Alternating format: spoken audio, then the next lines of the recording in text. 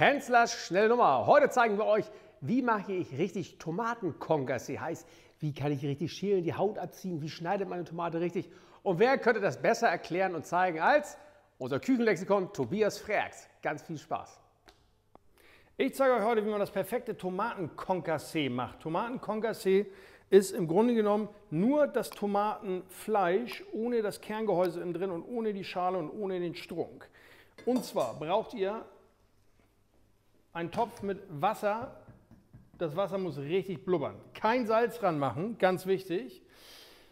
So, dann mit einem kleinen spitzen Messer hier den Stielansatz oder den Strunk von den Tomaten entfernen. Zack, ruhig richtig tief und dann hier oben 5 mm tief einschneiden über Kreuz, an der Blütenseite sozusagen. Dann wirklich das Wasser kochen wie Wäsche. Es geht darum, dass wir ganz kurz blanchieren, ist immer kurz äh, in heiße Flüssigkeit geben und danach abschrecken, weil wir wollen im Grunde genommen nur, dass wir die Haut abziehen können. Wir wollen die Tomate nicht garen und danach abschrecken in kaltem Wasser, damit der Garprozess wieder unterbrochen wird. Also 21, 22, 23, 24, 25, 26, 27, 28, 29, 30, 31, 11 Sekunden. Zack. Die Tomaten jetzt hier rüber. So, Topf können wir ausstellen. Dass einfach der Garprozess schnell unterbrochen wird. Und jetzt sieht man das durch die Temperaturunterschiede ist es jetzt hier so ein bisschen aufgebrochen und aufgeplatzt. Ganz kurz noch so. Jetzt kann man die Haut perfekt abziehen und eigentlich im Grunde genommen von beiden Seiten. Wenn man das zu lange drin lässt, dann wird äh, das Tomatenfruchtfleisch matschig und man pellt dann quasi oder zieht im Grunde genommen einen ganzen großen Teil von dem Tomatenfruchtfleisch ab. Merke das jetzt gerade, wenn man jetzt so rauf geht. Das ist jetzt sogar noch leicht warm, das heißt, wir können das noch hier reinlegen. Noch idealerweise äh, könnte man nur, wenn man jetzt so zwei Tomaten hat und das ganz schnell macht, äh, noch idealerweise könnte man sogar Eis ins Wasser reintun. So, die lagern ein bisschen länger drin, das ist optimal. Und denkt aber dran, wichtig ist, ihr braucht reife Tomaten. Wenn du eine Tomate hast, die eigentlich im Grunde genommen so orange ist und innen drin noch halbwegs grün, dann kannst du manchmal eine Minute äh, die Tomate blanchieren oder kochen, dann geht die Haut trotzdem nicht richtig ab und die Tomate ist matsch. Also wichtig, am besten geht das mit reifen Tomaten. Natürlich sollten die ja auch nicht matschig sein.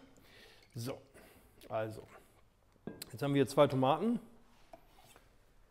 Die werden wir erst halbieren und dann vierteln. So. So. Und jetzt sieht man hier drin das Kerngehäuse. Die Tomatenkerne mit dem Wasser im Grunde genommen oder dem, dem, was den höchsten Wasseranteil hat. So, das kann man mit einem kleinen Messer rausnehmen und dann hier so rauskratzen. Und dann hat man so richtig schöne Tomatenfilets.